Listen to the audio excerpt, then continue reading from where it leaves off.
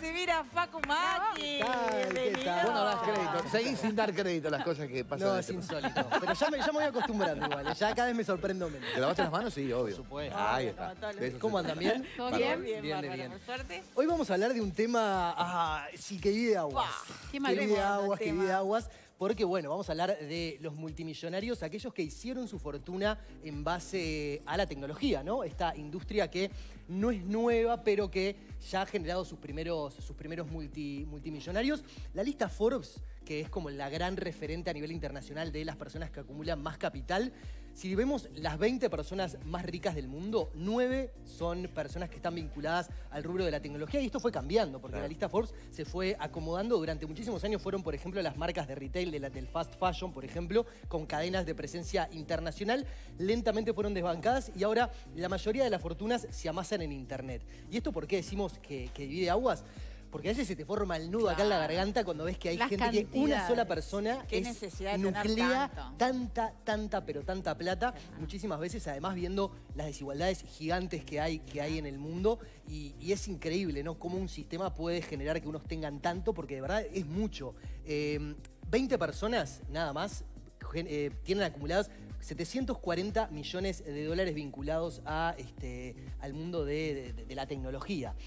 Y, y uno se pone a pensar que, ¿cuán- cuánto se podría hacer ¿no? con, con ese 650 dinero. 750 mil 750 mil millones. millones de dólares son los que las Sí, ni fortunas que siquiera pasan te entra en la cabeza tanto dinero. No, No, No, no, ni siquiera sabes dónde se puede la guardar vida. toda esa No, plata, claro. ¿no? Porque, porque es, de verdad son cifras este, exorbitantes y, y bueno, como decíamos, eh, son estos multimillonarios que, que dominan la, la escena tecnológica. Sus acciones igual cayeron durante la Ah, pandemia. la pandemia te iba a preguntar si aumentó Bueno, la fortuna pasó algo rarísimo porque, como pasa siempre en todas las crisis, los que son más ricos se suelen volver más ricos y los que son más pobres Claro. terminan siendo más pobres. Y pasó esto básicamente en, en el- con la pandemia del coronavirus. Durante los primeros meses de la pandemia, las acciones de estas empresas todas cayeron, eh, pero porque cayó to- Todo, todo, el, todo el sistema económico a nivel mundial, cayó, se generó una crisis muy fuerte, pero luego empezaron a repuntar cuando nuestros estilos de vida empezaron a girar más hacia el lado del No, si consumo pensamos, Internet Claro. volvió en... en- el amo y señor. Claro. Y sí, y la herramienta indispensable para, no solo Para comunicarnos, sino para, para nuestra vida entera. Pensemos, eh, ya, ya lo adelantamos, el puesto número uno, por ejemplo, está eh, ponderado por el creador de Amazon, Jeff Bezos, que fue en Estados Unidos de los únicos empresarios que pudo contratar. Contrató más de 7.000 empleados a lo largo de la pandemia, que uno se podría, ¿cómo es para en una crisis contratar empleados? Bueno, precisamente es porque Jeff Bezos se enriqueció muchísimo con el delivery y el reparto de mercancía, los pedidos por internet. Este, este hombre aumentó su fortuna significativamente durante, durante estos meses de, de pandemia y fue un poco lo que pasó.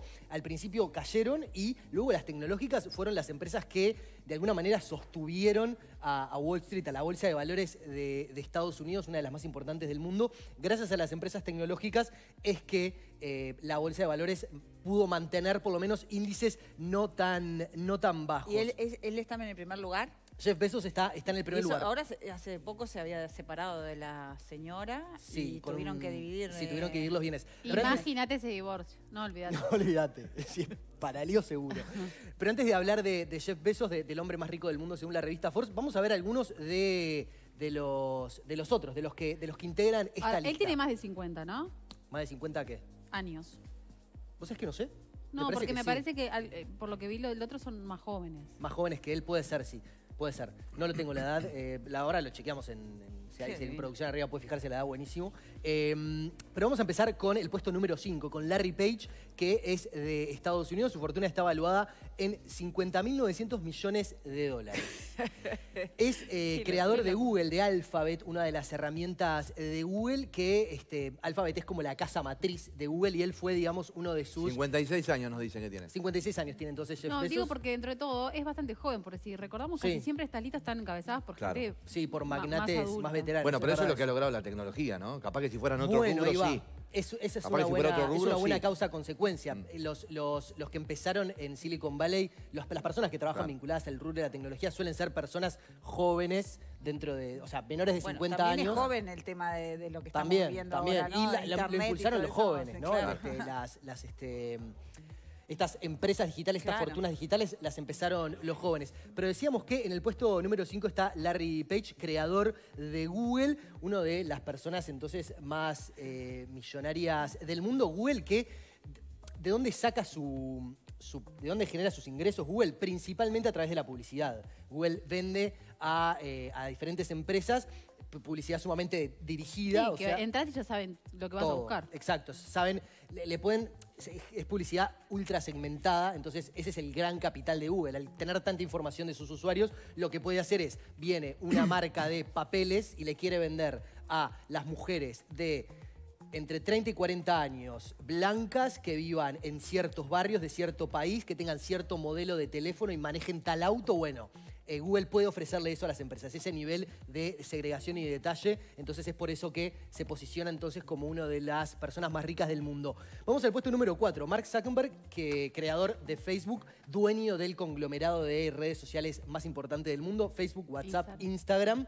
Todas son de él, la fue comprando de a poco. La primera claramente fue Google, fue Facebook la que le generó, digamos, su base más sólida. Y en base a eso pudo entonces ir comprando el resto de las aplicaciones hasta generar lo que es hoy el imperio La que historia de Zuckerberg es, un- es una, es una locura. Sí, es una Ahí demencia. estamos viendo el juicio que también tuvo que También, no, todo el tiempo. una suma de dinero. Además ¿no? de juicios, están todo el tiempo siendo este, sumariados por la justicia para, para ahora la última causa que les abrieron, que, que era como una... Ellos tuvieron que ir a, a declarar al, al, este, al Congreso de Estados Unidos, los grandes magnates de la tecnología, Apple, Amazon, Facebook y Google, tuvieron que ir a explicar por qué no tenían prácticas antimonopólicas. Al final el Congreso dijo que sí, el fallo fue que sí, que tienen, son, tienen los monopolios de todo y que no pueden dejar, de- tienen que dejar de ignora- ignorarlo y los gobiernos tienen que empezar a tomar acciones en ese sentido para regular esos mercados. 54 mil millones de dólares amasa Mark Zuckerberg, entonces el creador de Facebook, que supo estar más alto en el número, en el ranking de los millonarios, pero que lo fueron desbancando el resto de sus Y ahora, uno de esos juicios que veíamos ahí es por el tema de, la- de los datos, ¿no? De los datos, que ahí también te pones a pensar toda esta fortuna que tienen en base a los datos de todos nosotros. Es el gran capital, obviamente, obviamente. Este, el gran capital que tienen Como hoy las empresas es tecnológicas gratis es eso. nosotros que le decimos, "Ay, gratis". claro, no era tan gratis. No era gratis. Eh, el puesto número 3 de la lista lo ubica Larry Ellison, fundador de Oracle. Oracle es una empresa bastante desconocida acá en Uruguay, pero es de las más potentes en Estados Unidos. Lo que ofrecen es soluciones de procesamiento de datos. ¿Qué quiere decir eso? Que le ofrecen a las empresas, a las empresas no solo tecnológicas, sino a cualquier empresa, la capacidad de procesar datos y poder eh, obtener información de ellos. Porque si solo tenés los datos, no te sirve de nada. Lo que necesitas son datos procesados de los cuales puedas sacar, sacar información. Y a lo que se dedica este hombre es básicamente a eso con su empresa. Tiene 59 mil millones de dólares. Oracle que estuvo... ¿Ese es el de la India? No. No, es de Estados Unidos, Estados Unidos. eh, muy afiliado a Donald Trump. eh, fue, es de los pocos apoyos que le quedan a Trump dentro de la industria tecnológica porque todos los otros eh, grandes empresarios están volcados a, a- a Biden, al otro candidato. Y Oracle eh, y Larry Ellison que estuvieron, digamos, en la... mm, en la conversación, digamos, últimamente, porque fue uno de los ofertores para comprar TikTok. Recuerdan que Ah, tenía- estaba todo este conflicto entre el gobierno chino y Estados Unidos para ver quién iba a comprar TikTok. Claro. Finalmente, eh, no se sabe al final qué va a pasar con, con todo ese tema. Sigue, digamos, en stand-by. Seguramente después de las elecciones haya alguna que otra noticia. Lo cierto es que él contaba con el respaldo de Trump para la compra de TikTok y si lo tenemos que fundamentar es con estos 59 mil millones de dólares, podría comprar lo que quiera, lo que quiera este hombre. Puesto número 2, Bill Gates, ya un viejo conocido de la casa, que se mantiene al firme. Bill Gates, creador de Microsoft, eh, este sistema operativo que está presente en la mayoría de las computadoras del mundo. 98 mil millones de dólares es la fortuna que amasa este hombre, que es de los más filantrópicos, si hay que, hay que pasar una raya, digamos. Mucha gente lo, no, lo, no le cree mucho porque siempre está envuelto en estas teorías conspirativas de que Bill Gates quiere inventar la vacuna para implantarnos un chip y dominarnos a todos. Es un poco siempre el centro de, esas, de esas controversias. Lo cierto es que es el más filantrópico, es el que tiene una fundación dedicada también a, a la investigación vinculada a la salud. Es un tipo que le interesa mucho todo lo que es vinculado a la salud humana, entonces suele invertir en esos temas y encabeza entonces la lista número dos de los más millonarios. Y ahora sí, llegamos al puesto número uno con Jeff Bezos. Ya adelantamos un poco de que va. Tiene 113 mil millones de dólares en su cuenta además, bancaria. ya cambió. Esa fr- cifra que nos decís, ya Sí, seguramente. en, un Claro. minuto cambió. Yo no tengo O sea, el ya dato, aumentó. pero- Lo que pasa es que fue al súper y le bajó. Claro. Claro. Claro, No, tengo la el dato, pero hay era, era una demencia lo que estos hombres generan por, ya no es por minuto, es por segundo. o sea, lo que nosotros laburamos un mes para juntarlo, ellos lo, lo consiguen Claro. en un segundo. Claro. Y es ahí un poco donde radica también parte de, de la injusticia de, de- de lo que le apuntan a todos estos, a todos estos multimillonarios. Es que un- uno de ellos es- son más poderosos que cualquier gobierno, Exacto, que cualquier país, claro. que cualquier. O sea. Por eso los quieren regular, porque se dan cuenta que son una evidente amenaza para. país, Exacto. claro. Son una evidente amenaza para cualquier gobierno porque tienen Claro. demasiada Fíjate que no está impresa la plata que tienen. Si van a retirar los cinco al banco, le dicen, puede. denos un par de años para imprimirle toda la guita, pues no la tenemos en No, momento. decía, ¿dónde se Olvidá. va? No hay papel. No, ahí va, tal cual, tal cual. Es, es una demencia. Eh, ¿Y en qué invierten estas personas? Porque claro, esta, esta plata todo el tiempo se está al tener tanta Claro. plata, ellos lo que quieren es tener más plata, Claro. eh, porque una vez que entras además en esa calecita de, de- No de- parás. de la avaricia es como muy difícil parar. Y bueno, estos hombres suelen invertir más que nada en, en temas vinculados a su rubro. Primero porque es el que conocen y después es el que pueden vincular a sus empresas también, madres. claro. Exacto. Compran siempre, están todo el tiempo haciendo especulaciones, ¿no? Compran pequeñas aplicaciones o pequeñas empresas o, o cositas chicas que ellos después las suman a su aparato empresarial tecnológico y muchas veces lo potencian y otras veces claramente fracasan. Gastan mucha plata también en patentes, en inventos que están apareciendo por la vuelta y que eventualmente la podrían pegar o no. Claro. Sorprende también por eso muchas veces aparecen titulares de Apple, Amazon, Google compraron la patente de un celular que vuela.